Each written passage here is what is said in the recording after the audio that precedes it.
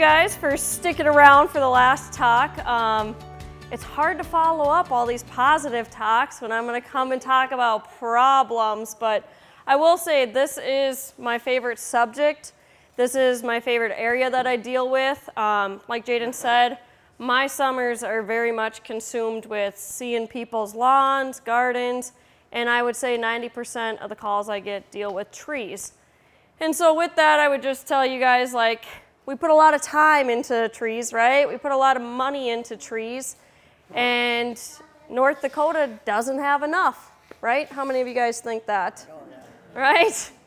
Um, so we are going to go ahead and get started, and these are just a lot of the common problems. This is not all of them. I'm just highlighting a section of a lot of ones that I see year to year for you guys. Okay, just had to skip our um, discrimination. So when it comes to diagnosing tree problems and stuff, what do I need? Like if you guys are coming into the office or you're calling into the office, what do I need in order to like investigate what is actually going on with your tree?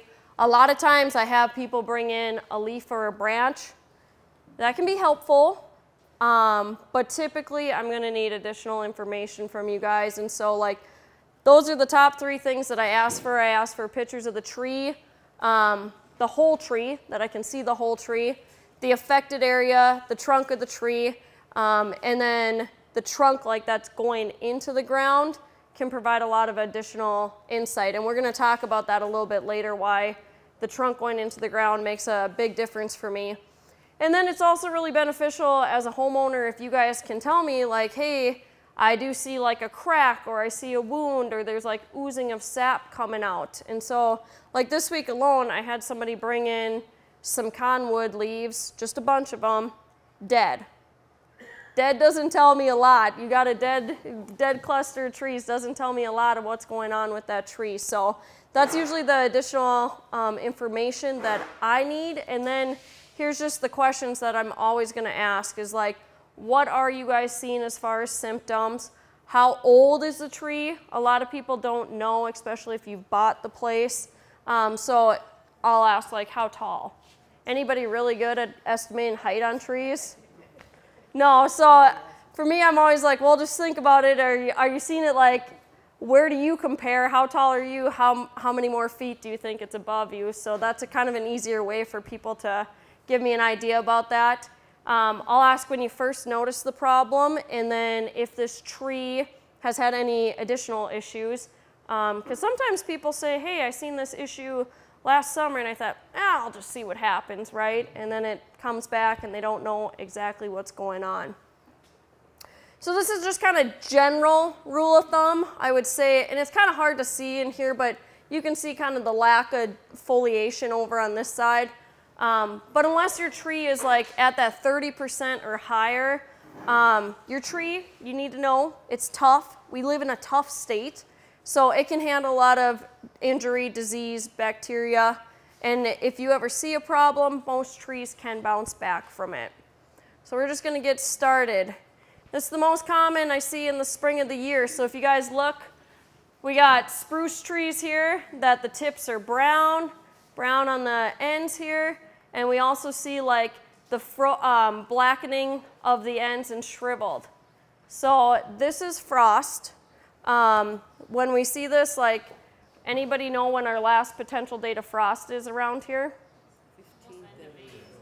Yeah, about May 15th. And so like our deciduous trees, a lot of times, or flowering trees, like their blossoms can get bit with frost at the end.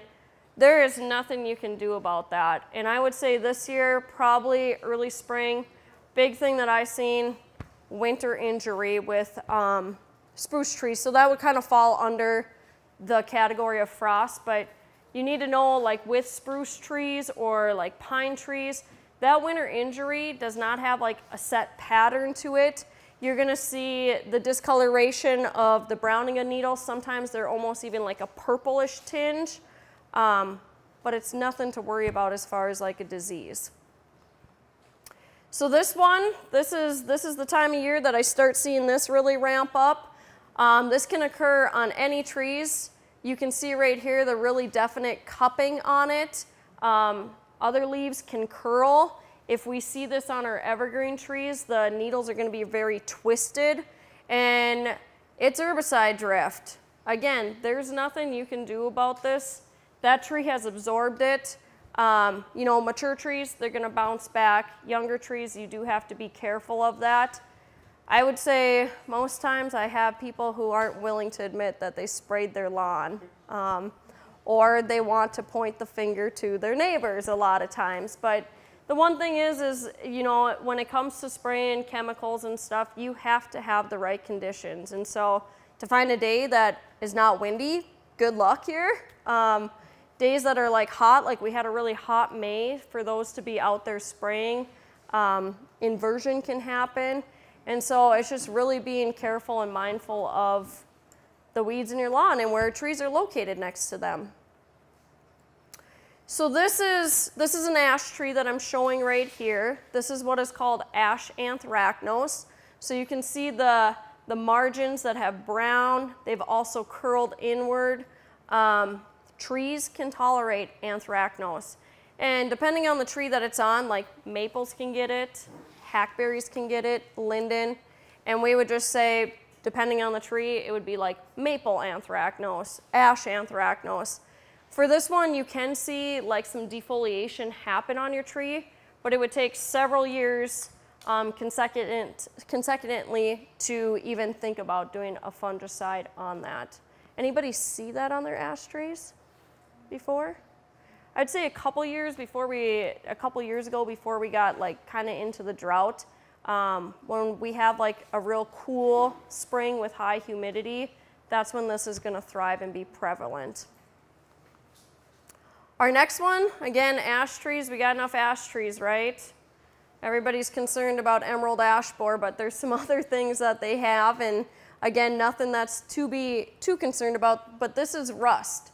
And so you can see it actually has like the orange powder on the leaves, and then they actually get like these um, spores that will release the rust as well. And so this is a fungus that's gonna alternate between your ash ash trees and cordgrass. And so what I would tell you to do is identify that cordgrass and get it eliminated. Um, again, there are fungicides out there, but to warn a fungicide, you have to have a lot. And a lot of times people think that a fungicide is going to be a curative. It's not a curative, it's a preventative. This one's just popping up. Um, I had two weeks ago a Juneberry, this isn't a Juneberry, this is an apple, but I had a Juneberry leaf come in. And so this is what is called cedar apple rust. Um, it alternates between cedars and trees that are in the rose family. So that would include your apple trees, your hawthorns, juniper, um, cotoneasters as well. And so what happens, like this is what you'll see on the deciduous leaves, kind of these spots going on. And I actually think it's kind of neat looking on the juniper cedars is they actually get these brown galls. And this one at this point is actually like pouring the spores out. Um, but before that happens is they just look like a brown ball with like a bunch of darker spots on them. And so again, trees can tolerate this. Um, it's going to thrive under a really wet and humid type of condition. And what I would tell you first and foremost, don't plant them together. That would be an easy solution. I had a gal in Mandan that, like I said, she brought in a sample of Juneberries and she said, yeah, for about two miles there's junipers out in her area. And I said, so you're gonna have to be dealing with that as it continues on because you're not gonna go eliminate your neighbor's trees and stuff. Um, what you can do though is you can prune these out on the junipers so then the spores aren't released and not passing over to um, your apple tree or like I said, something in the rose family. And the other thing that I would tell you is I see way too many times apple trees that are neglected in the sense of pruning. So make sure that you are pruning during the dormant season, that you are opening up that canopy to allow more airflow and sunlight through it. Um, so this one's going to be a little harder to see again just with the lighting in here, but this is what is a canker, and a canker is going to describe the symptoms that we see. And so on this one, you see the swollen area, looks like a bump, it actually has like sap that is oozing out of it. And then right down here, you can see the discoloration. And again, in that area that is swollen. Um, so what this is, is this is a pocket of fungus in your tree. And so where you actually see the canker, you'll start to see dieback because that pocket of fungus stops the flow of nutrients out. And so best thing you can do is just manage it and you would want to prune it back 8 to 10 inches into the healthy wood, okay? I'm going to talk about fire blight is very similar in this and I have that in a few slides here to talk a little bit more in depth about that one. Galls. Anybody have leaves with a bunch of bumps on them? Very, very much so this year. Um, so we see these deciduous trees, maples, ash. A lot of ash have came in with those. A lot of people get very concerned because it's very ugly looking. But this is just really an aesthetic damage and pesticides are not needed. And plus you would have to identify what has caused the gall. So what happens in the springtime is we have like insects and mites that are feeding on the plant tissue or laying eggs, and their saliva actually contains a chemical that disrupts the plant's cell growth in these leaves, and then it causes these bumps. So I tell people most of the time when they come in about their trees, they're more stressed than their trees are. And with the gall, it, it's like a pimple on your face. It's not attractive, but it's not hurting your face, and, and it, it will hopefully not be there next year. This I would say is the most common thing I see with choke cherries. Anybody have choke cherries? Yes. So black knot, this is, this is one thing about choke cherries is like choke cherries aren't going to be a very long-lived tree. Um, you will see them most likely get a black knot in their lifetime. I get people calling in and saying it looks like dog turds in my tree. Um, and which it does, it does, right? You got those black swollen areas and stuff. So with this one, again, your management is gonna be simply pruning those out. Again, pruning that eight to 10 inches into the healthy wood and then destroying the leaves. On a tree like this, this one obviously doesn't have foliage. You're better off cutting your loss and, and moving on to something new there. Okay, apple maggot. This is probably the number one apple pest in North Dakota. You need to start monitoring now. Now is the perfect time. So what you can do is you can go ahead and you can hang traps in the trees. You can buy apple maggot traps. They're like a red sphere. Um, you can also make them. So if you'd like go to Hobby Lobby and buy like a wood sphere, and then you paint it really bright red and you can coat it in what is called tanglefoot. That's a sticky substance. We hang them in our tree right now, beginning of July, and then if you start to detect the adults, you would want to go ahead and do some sort of um, pesticide spray on that. I have a couple listed, but yes, I would say people have this issue of the dimpling, and then you cut them open and you see the nasty little brown tunneling in there. The other big apple one that I see is codling moth. And again, this is one that a little bit earlier, you would probably hang this mid to late June, um, a trap for the adults. And so their traps are a little bit different. You can look them up online, but they're kind of like a triangular shape. Um, they contain a pheromone that actually attracts the female, the males. And so it's like a female pheromone that the males go in and they get all excited thinking they're gonna mate and guess what? They stick down and then they die an ugly death. Um, so if you start to detect those, you could go ahead and again, you can spray some insecticides after your petal fall and then really follow the label, but most labels are gonna tell you seven to 10 days later, a pyrethrin or like a malathion. And so this is actually what is, if you guys grew up knowing like in your classrooms, like I remember in my elementary classrooms, the little apples with the worm poking out, this is what this is actually modeled after. And so that larvae, that female goes and um, lays her egg inside there, and that larvae eats the seed and then eats its way out. And then you see those um, holes with kind of like the frass coming out. It looks like little dust on them. Okay, what's the problem here? Okay, rose, honeysuckle, lilac, most commonly affected. This is a good example of lilac. Powdery mildew. So literally the leaves look like they're coated in powder. Um, it's gonna again thrive under like wet, humid conditions. This one we wanna go ahead and rake up the infected leaves. We wanna prune the branches, you know, in early spring to increase sunlight and airflow within there. But the great thing about lilacs is if you get this, like you can cut them back to the ground and they're just gonna come back even better the next year. Anybody have powdery mildew? Uh, it, it can be on others. I didn't list all of them. It's actually, it go ahead. Well, we had it last summer on some smaller, like shoots off our aspen tree, but the main tree didn't. Yeah, I would believe that on the smaller shoots for sure. This can happen in the garden too, like uh, like peonies and stuff can get this a lot.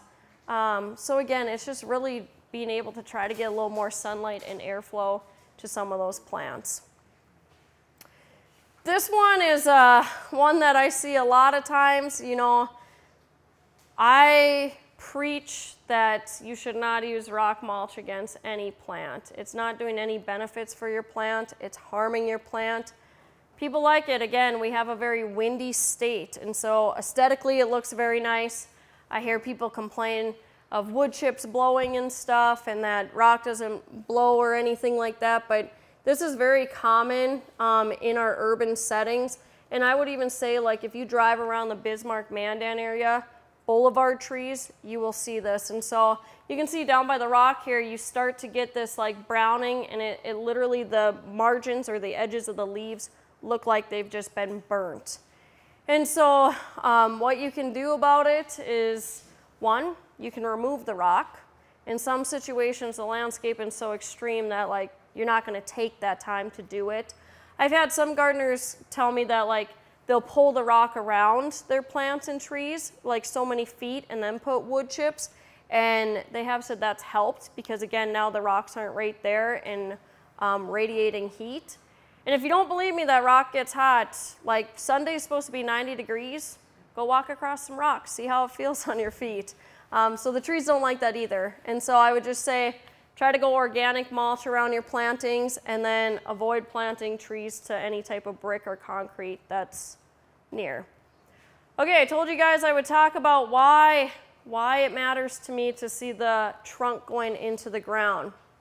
Here is probably one of the biggest problems in North Dakota.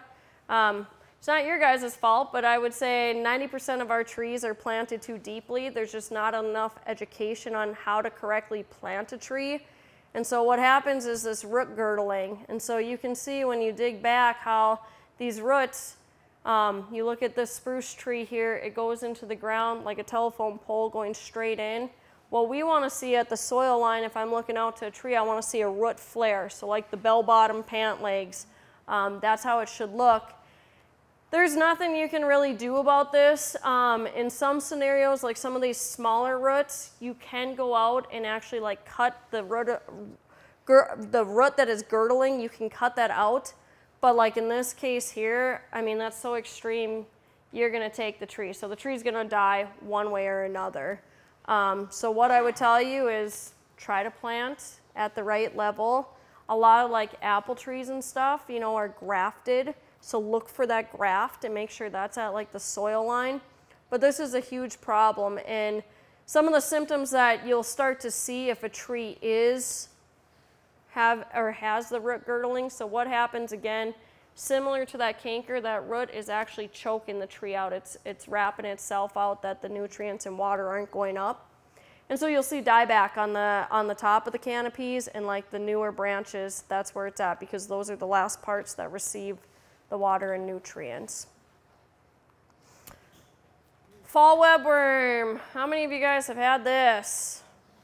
August, September. This is what my phone my phone calls pertain to. And I will tell you, some of you guys are like very vicious with this issue. You guys want to get out the propane torches. I hear people calling in and saying, "I cut out the branches. That weren't that that is not going to survive." Okay, first and foremost, they're not causing that much damage. Yes, they can defoliate branches, they can defoliate some of our trees in the fall time, but think about it. It is fall time. You're to lose those leaves in a month or so, anyways. So the fact that they just beat you to it or beat the tree to it, it's okay. What I would tell you is go ahead and break up that webbing. You can do like a really good jet stream of water. If you really want to kill and get vengeance on it, take it, dip it in a soapy bucket of water. If you feel the need to just be like, you know what, this is my territory, this is my yard, go ahead and use an insecticide such as BT or Carbaryl. Carbaryl is going to be your contact. So once they hit it, you're going to just watch some things shrivel and die up. BT is going to be a slow acting, so they have to eat it, and then it actually disrupts like their stomach, and they'll die from the inside. Again, don't be cutting it out. I just actually gave this talk a couple nights ago to some people over in Mandan, and the person's like, I just cut it out every single year. And I said, huh, your tree must be getting smaller every year as well then. They can. They can, because they will actually pupate into the soil and overwinter. So again, you would want to rake up leaves as well. Good point, Marv. Um, wetwood, I see this a lot in some of our larger trees within like the city and even on boulevards. So you see like this, this discoloration going on. Um, there is no treatment for that. It is gonna weaken your wood. Your growth is gonna be slowed. Some of our trees have like really narrow, what, what we refer to as like crotches. Um, some of them have wider ones where actually like when we get these rains and stuff, water actually sits in there and that can contribute to the problem as well. And so when these trees get really large, you'll start to see like that wood and stuff like it starts to rot, it starts to die. But again, this is inside the wood. You can't, you can't treat it. I have not seen this one yet this year. So you see these little, like little turfs of cotton balls on them. This is what is called cottony scale, often on a maple or linden, but other woody plants can be affected by this. And so what you can do about this, you could use like some different type of lightweight oils, um, and acephate, or even like a drench of imidacloprid would help with this. But a lot of times like scale isn't doing a lot of damage that you don't have to worry about it. I think when this homeowner came in, they thought like it was more of like a spider nest and they were concerned about spiders coming out. This next one though is a problem. And again, it's gonna be hard to see, but you can see on these pines, you have all these little white spots, spruces, white spots. Um, I'm sure Chad would agree with me. This year has been just severe for what is called white pine needle scale.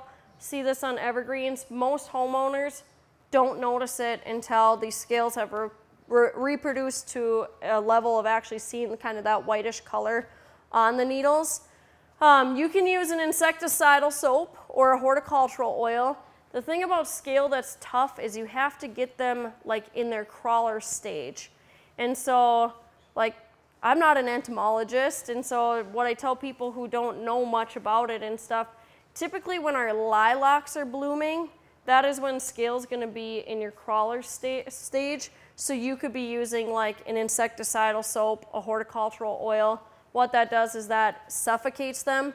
Your best management is actually going to be doing a little bit of both, like a systemic. Um, that you would apply early spring. So if you know it's been a problem year after year, I would go ahead, uh, go ahead and apply a systemic the next spring.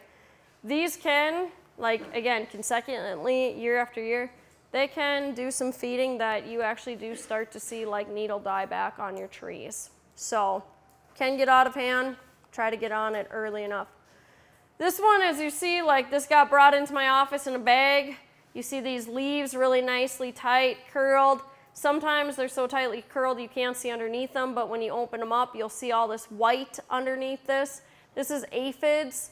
Um, again, they're under there, they're sucking some of the chlorophyll, some of the juices out of the leaves. This damage is gonna be minor. Yes, you're gonna have some unappealing leaves. It's gonna be tightly curled. Um, if it's a younger tree, again, consider using a systemic such as acephate. But in general, if you have a large tree, tell me how you're going to spray a tree and get underneath the leaves. Thank you. Probably not going to happen at all. So this one, I told you we were going to talk about fire blight. I would tell you guys this is the number one killer of apple trees. Happens in the rose family, so again, your hawthorns, your cotoneasters can be affected, pears can be affected by this. So what I see as a telltale sign is you start to see leaves that brown and dry up. A lot of times, like we refer to them as a flagging branch, and so people will call and say, like, it looks like my tree's been like burnt in one area, like the leaves have been burnt. And usually when you go out there or they send additional photos, you'll see what this curling in a downward, which we refer to that as a shepherd's crook. Again, fire blight is inside the wood of the tree. And so here too, again, hard to see, but there's actually that discoloration like I talked about on a canker. Like this is black, this is still kind of a lighter brown. Um, and so what you want to do with fire blight is you manage it. You learn to live with it and manage it. And so what you would want to do is you prune out these branches that are showing it. You're going to go ahead and destroy them, prune them back 8 to 10 inches. Biggest thing, anytime you're cutting a diseased tree, make sure you are sterilizing those pruners. You can spread that just by making one cut on a healthy or on a diseased branch and then onto a healthy branch. The other thing about fire blight is it can actually spread through like raindrops. And so you definitely want to manage it. You could use a um, copper-based fungicide or even like streptomycin. And I do know Cashman's sells that. So again, fungicide is going to be your preventative, help you from spreading throughout the whole tree. I would just tell you if you have it, like you can maintain the longevity, but most likely you're going to lose this tree eventually. The other huge problem I would say within the last two years that just has been very prevalent um, on our spruce trees is needle cast. We have two types of needle cast. One is called Rhizosphaera and the other is Stigmina. Um, you actually need to get the actual correct diagnosis of which one it is. You do need to send that off to like the NDSU lab. Um, but what we see is, uh, no offense to conservation, but we see these in conservation plantings. Um, you know, we want to plant conservation for not only privacy, but wind protection and stuff like that. As trees get older in like tree rows and shelter belts, they kind of tend to almost weed out the weaker ones within there. But a lot of times you'll start to see this get affected where these bottom branches will die off you can go in there. Again, if we had the correct lighting, you could see what I'm talking about. So I can, like, I can take branches in, and if I look under a microscope, I circled this, but your needles have little white, white, um, like pores on them. And when they're infected by needle cast, those pores are actually black. And so that's kind of a telltale sign. First and foremost, to prevent this, like provide adequate spacing um, within your trees. If you do have shelter belts and you're starting to see it, consider removing those trees. Consider thinning out your shelter belt as well. Um, prune out any dead branches. So again, on those top ones, you would go ahead and prune out those bottom ones. Younger trees, you may consider a fungicide. A fungicide that works for both types is chlorothalonil um, that would be good, but it's not realistic for your large trees. Like you can't get an adequate spraying. It is costly to treat for needle cast as well. And so it's another thing you kind of learn to, to live with and how to manage it. Um, this is the last one I'm going to highlight for the evening before I take any questions. I haven't seen this one in a, in a few years or anything like this, but again, you can see this on a chokecherry tree. So just all these little holes. Um, and this is what is called shot holes. And again, you'll see where there's like discoloration on your branches and everything. It is another type of canker. And with this one, there's no sprays recommended as well. You want to trim out those cankers when there's no rain expected. Okay? So there's my photo credits, and with that, I would take any questions you guys have. Any tree problems? So if you have your evergreen or your spruce trees and it's not, they're not together, but here and there, you have them and they're dying from the bottom. And it's large ones and it's small ones and It, so, like, is your question, can they still get needle cast? Is that your question, or? I don't know.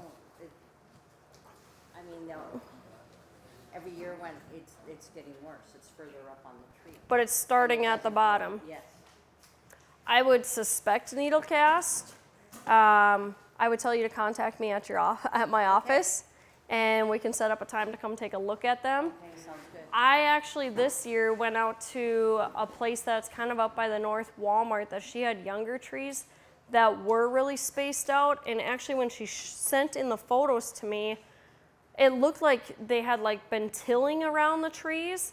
And so I was concerned that they had been hitting the roots. And I went out there and actually like she said they hadn't been tilling like these trees were on a slope and they were younger trees probably probably about my height so they were really young and i took some samples back and i did see the needle cast on them so it can affect young and old it can affect nicely spaced trees as well but it, it is a hard one to, to take with what you got Uh, the choke cherries, yes so when they get black knot, does it do any good to take them to the ground, like poke some and let them come back, or will they just keep getting? Uh, I've never, I mean, unless you've had the experience, I've never heard of anybody taking them back down to the ground where they'll come back nice. Okay. I'd say take them. Just take them. Chalk up your loss. Other questions? If you're in a really wet area, what is, what is the best trees to try to grow? Well, willow's gonna do really good. Um, your cottonwoods, I would say Chad probably has a good list for you on some of those. I know we have a publication on, so when we had the flood in 2011, NDSU did put out a publication on like trees that can stand, you know, standing water up to several weeks. Um, but as far as like saturated soils, what would you suggest? Willow, cottonwood? Yeah, there's, there's, there's a lot of those, in the North Dakota Tree Handbook, there's a lot of that information, there's actually a page in the front where it lists. all When you get the cottonwood, is there a sure way to get a seedless cottonwood? There are, var- you can Yeah. get, you can get male, uh, Okay. male cottonwood, or you can get some of the poplar varieties that aren't exactly a cottonwood, but they're similar. Okay. Yeah. Siouxland and the other one is uh like Ro I, I'm gonna I'm not gonna get this right, but it's like Roberta or Roberto. What? Thank you. I'm like I, we just talked about the other day and I cannot remember. Other questions? If there are no other questions, we just want to thank you guys for coming out for the third series.